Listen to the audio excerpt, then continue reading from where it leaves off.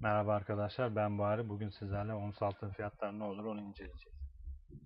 Ons altın fiyatları 2020 yılın başında 1530 seviyesindeydi. Burada ABD, e, İran gerginliği ve Suudi Arabistan, Rusya petrol kriziyle beraberlikler güvenli liman alımların tercih edilmesiyle birlikte hızlı bir yükseliş gerçekleştirerek 1700 seviyesine kadar çıkmıştı. Sonra burada gelen imsar açıklamayla beraber buradaki destek seviyenin kırılmasıyla formasyon hedefiyle birlikte tekrardan 1464 seviyesine kadar çekildi. Sonra zaten Mart ayında bildiğiniz gibi koronavirüs patladı. Koronavirüs salgının endişeleriyle dünya borsalarına %40'a %30'a varan kayıplar gördü. Burada da hem Merkez Banka hem yatırımcılar hem fonlar güvenli limanı olan ons altına geçiş yaptı. Bu geçişle birlikte ons altın fiyatları sert bir yükseliş gerçekleşerek kısa bir dönemde 1700 seviyesinin üzerine çıktı. 1750 seviyesini ilk zirvesiydi. Bu zirveden satışlar oluştu. 1660'a geriledi. Pardon 1670'e. Tekrar alımlarla birlikte yeni bir zirve yaparak e, son 8 yılın hatta en yüksek seviyesiydi 1765. Sonra buradan yine e, gelen iyimser açıklamalar ekonomilerin yeniden açılmasıyla birlikte Fiyatlar 1670'e kadar geriledi. Burayı kıramadı. Buradan aldığı destekte yeniden yükselişlerini sürdürüyor.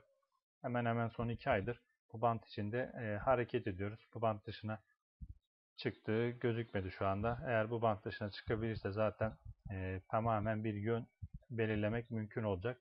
Çünkü şimdi yatay bantlarda genelde fiyat bu da e, bant için hareketlerine de var. Yukarı dirence gider, desteğe geri gelir. E, tekrar yukarı gider, geri gelir temel tarafta oluşan e, iyimserlik veya kötümserlikle de etkilenmesiyle birlikte bu bant dışına çıkmasıyla yükselişler o derece e, hızlanır veya düşüşler devam eder. Burada da bizim takip edeceğimiz destek ve direnç seviye ekranımızın solunda var. E, kısa vadede 1752 seviyemiz var. Üstünde de 1765, devamında 1785 seviyesi.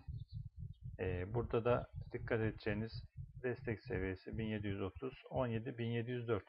E, şu anda piyasalar e, ikinci dalga konuşulsa da e, ekonomilerin kapanmamasından dolayı pay piyasalarında yükselişler hala sürüyor. E, aslında hem altın alıyorlar hem pay piyasalarında işlem açıyorlar.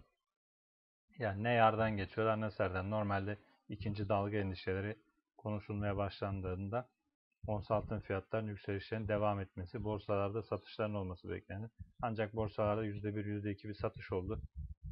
E, ucuzdan alınan ürünü kimse şu anda satmıyor, elinde tutuyor. İkinci dalgayı da şu anda görmezden geliniyor. Ama ileride bir e, ekonomilerin tekrardan kapanma gibi bir durum söz konusu olursa o zaman işte borsalarda sert satışlar görebiliriz. Sert satışların görülmesiyle de ons altına tekrardan alımlar devam eder. Bu alımlarla da birlikte ons altın 1765'i geçerse o zaman yeni bir bant hareketine oluş, oluşmuş olacak. Yeni bir kanal olacak. Burada e, eğer 1765 üzerinde olursa fiyat kanal boyu kadar bir yükseliş beklenecek ve 1860 yani 100 puanlık bir e, yükseliş beklenebilir. Ancak direkt bu e, kanal değişeceği için, bu bant değişeceği için buradaki fiyat hareketlerini takip edeceğiz. Ama bizim buradaki kanal direncimizde ilk önceliğimiz 1785 aşırısı 1811. Yani bu kanalın hatta biraz kalın yapayım onu. Geçilip geçilmeme de önemli Çünkü buradan genelde kanal tepelerinden burada gördüğünüz gibi satışlar oluşur. Tekrar burada da aynı şey geçerli. Buradan 1811'lerin satışı olursa fiyatlar yeniden dirence e, pullback olarak geri çekilmek isteyebilir.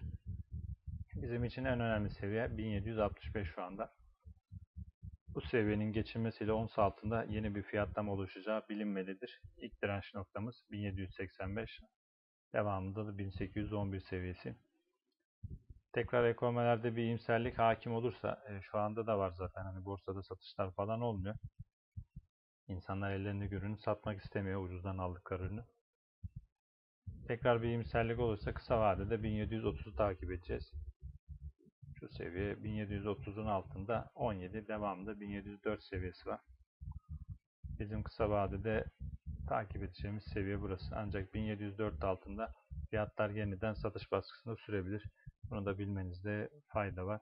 Ons altın için söyleyeceklerimiz bu kadar. Fazla e, videolar uzun tutmamaya çalışıyoruz. Yani çok e, lafı gevelemeden destek direnç seviyeleriyle birlikte temel tarafta oluşabilecek durumları anlatarak videolarımızı sonlandırıyoruz. Kısa vadede ve uzun vadede hemen hemen onsun kaderi 1765'ten geçer. Aşağı yönlü de gelecekse 1670 ons altının kaderidir. Burası kırılırsa e, fiyatlama tekrardan değişebilir. Ancak devamında bunu da gösterelim. 1160 ana ana trend budur aslında arkadaşlar. Yani 2018 2018 evet 2018'de başlayan ana trend çizgimiz budur. Buradan aldığında fiyatlar yükselişte yeni bant oluştur. En fazla geleceği yer 1460 seviyesidir. Yani her şey iyimserlik tekrardan faiz arttırımları oluşursa geleceği nokta 1700, 1440, 1460 seviyedir. Ama şu anda gündemde böyle bir şey yok. Onun için daha kısa vade hedeflerle kanal çizgilerimizi güncellediğimizde 1670'in önce kırılması gerekir. Sonra o fiyat hareketleri incelenir. Yani burada nasıl 1765 geçildiğinde band değişiyorsa aynı şekilde 1760 geçildiğinde de aynı şekilde oluşum farklı olacaktır. Yeni bir kanal izlenecek. O da dip seviyesi 1560 olur. Fiyat da bu bant için dalgalanabilir. Dediğim gibi 1765 ons altı kritik. İsteyen bu seviyenin geçilmesiyle birlikte işleme girebilir. Veya bu seviyenin geçilmemesiyle birlikte buradan tekrardan satış yapıp ons altın fiyatlarının gerilemesine doğru pozisyon alabilir. Buradan nereye gelebilir? Tekrar oradan geçilmezse buradan 1740'lara doğru bir geri çekilme mümkün olabilir. Cümleten bol kazançlar arkadaşlar. Hoşçakalın.